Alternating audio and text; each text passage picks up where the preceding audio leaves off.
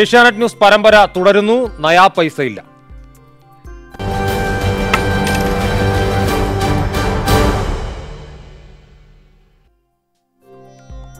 Branding ഇല്ലാതെ പണം നൽകില്ലെന്ന് കേന്ദ്ര സർക്കാർ നിർബന്ധം പിടിച്ചതോടെ സംസ്ഥാനത്ത് അഞ്ച് കേന്ദ്രാവിഷ്കൃത പദ്ധതികളുടെ നടത്തിപ്പ് പ്രതിസന്ധിയിൽ.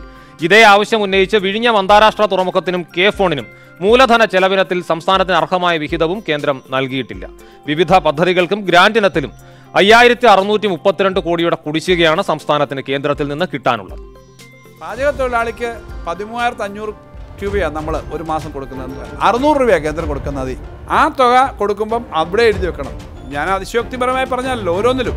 പ്രധാനമന്ത്രി ആവാസ് യോജന വഴി നിർമ്മിക്കുന്ന വീടുകൾക്ക് മൂന്നിരട്ടിയോളം തുക സംസ്ഥാന സർക്കാരും ചെലവഴിക്കുന്നുണ്ട്. എന്നിട്ടും കേന്ദ്ര പദ്ധതി എന്ന് ബോർഡ് എഴുതണമെന്നാണ് നിബന്ധന. ഇതിനു പുറമെ Swachh Bharat mission Ayushman Bharat national health mission Poshan Abhiyan mission എന്നീ പദ്ധതികൾക്കും ബ്രാൻഡിംഗ് നിർബന്ധമാക്കിയിട്ടുണ്ട്. മാത്രമല്ല കേന്ദ്രാവിഷ്കൃത പദ്ധതികളുമായി ബന്ധമില്ലാത്ത വിഴിഞ്ഞം തുറമുഖം കെ ഫോൺ അടക്കമുള്ളവയ്ക്ക് മൂലധന ചെലവിനത്തിൽ കേരളത്തിന് അവകാശപ്പെട്ട കേന്ദ്രവിഹിതവും ഇതേ ന്യായം പറഞ്ഞ് നിഷേധിക്കുന്നുവെന്നാണ് സംസ്ഥാനത്തിന്റെ പരാതി.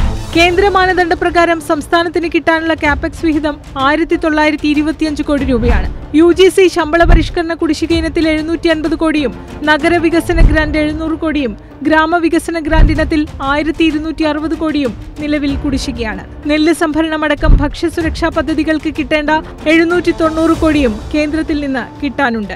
എല്ലാം ചേർത്താൽ അയ്യായിരത്തി അറുന്നൂറ്റി മുപ്പത്തിരണ്ട് കോടി രൂപ കേന്ദ്ര സർക്കാർ വിവിധ ഇനങ്ങളിൽ കുടിശ്ശിക നിർത്തിയിട്ടുണ്ടെന്നാണ് കേരളത്തിന്റെ കണക്ക്. ആവർത്തിച്ചാവശ്യപ്പെട്ടിട്ടും നൽകാൻ കൂട്ടാക്കിയിട്ടുമില്ല. C P Ajitha Asianet news Thiruvananthapuram.